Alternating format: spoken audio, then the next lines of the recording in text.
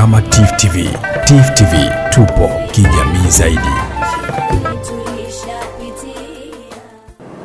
Wizara ya Maji, Nishati na Madini. Mafanikio ya wizara hiyo, nasema wizara ina majukumu mengi ambayo imepangiwa tokea kuundwa kwake, lakini zaidi inatoa kipaumbele katika huduma ambazo zinahusu jamii moja kwa moja kwa ajili ya maendeleo pamoja na kutatua shida za wananchi. Mafanikio katika sekta ya maji na rasilimali muhimu, ni rasilimali muhimu kwa maisha ya viumbe vyote vinavyoishi duniani.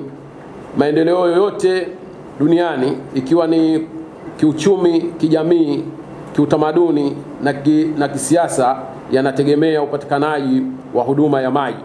Sekta sekta hii ni muhimu kwetu. Serikali ya Mapinduzi ya Zanzibar ya awamu ya nane imekuwa mstari wa mbele kuchukua jitihada za makusudi kuhakikisha wananchi wa Zanzibar wanapata huduma ya maji safi na salama ili kutimiza azma ya mapinduzi. Katika kuhakikisha upatikanaji wa huduma ya maji safi na salama kwa wananchi wa mijini na vijijini unafikia zaidi ya asilimia 85 ifikapo mwaka 2025. Serikali inaendelea kujenga, kukarabati na kusambaza mitambo ya maji pamoja na kuimarisha usimamizi wa vyanzo vya maji nchini. Hata hivyo, hadi kufikia 2023 hali ya uzalishaji wa maji nchini imeendelea kuimarika ambapo wastani wa uzalishaji wa maji umefikia asilimia 67 kwa Unguja na Pemba ikilinganishwa na asilimia 56 iliyofikiwa mwaka 2022.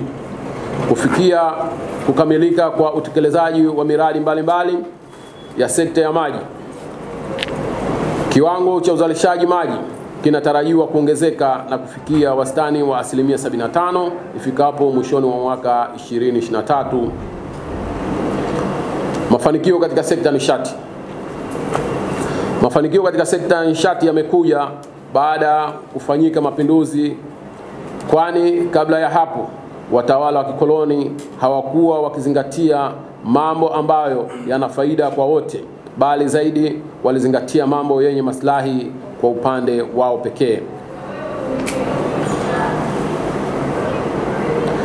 Serikali ya Mapinduzi Zanzibar katika kuhakikisha hilo inaendeleza chanzo cha umeme unikio katika sekta madini.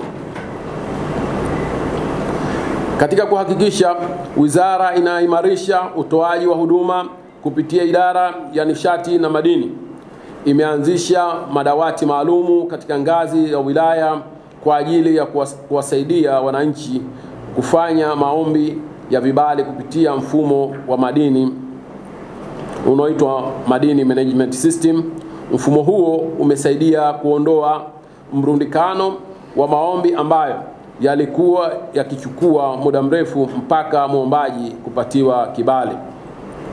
Kwa sasa wananchi mwananchi anapata kibali cha maliasili zisizorejesheka ndani ya masaa nane ya kazi mara tu baada ya kuhakikisha taratibu za maombi zimekamilika.